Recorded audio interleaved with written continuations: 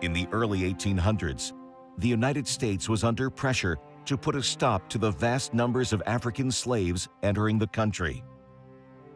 Following the lead of Great Britain, the U.S. agreed to abolish the lucrative trade. The Americans outlaw the Atlantic slave trade in 1808. And in 1820, it's declared an act of piracy, punishable by death. So by the 1820s, it's illegal for American sailors to engage in the trade as well.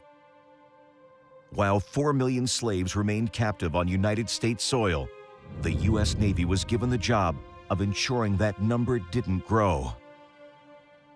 A small fleet, known as the Africa Squadron, was formed to hunt down slave ships leaving Africa and bound for Cuba and South America. When you have a profit margin of 1,000%, even if it's illegal, people are going to do it. In September 1860, the Constellation was patrolling close to the Congo River Delta. For weeks, there had been no sign of slave ships. Then, on the afternoon of the 25th, one of Constellation's lookouts spotted a sail on the horizon.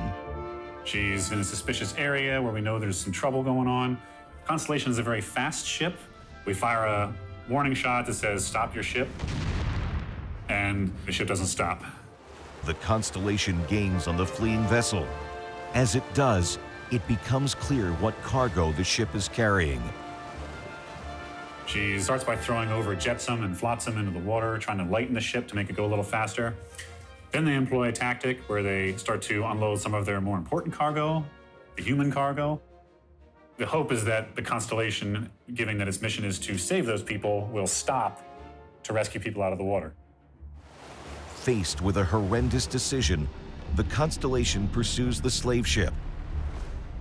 It fires shots through its rigging to force a surrender. The ship is identified as an American vessel named the Cora. The captain and crew of the Cora were arrested, transferred to the Constellation, and taken back to the United States to be tried.